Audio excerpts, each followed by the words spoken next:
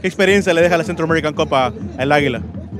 Ya sabemos que se juega unos partidos de alta intensidad, sabemos que encontramos rivales fuera del país algo fuerte, lo cual nos duplica a nosotros. Como te digo, fue un partido muy pesado ahorita, pero gracias a felicitar al equipo que obtuvo los tres puntos.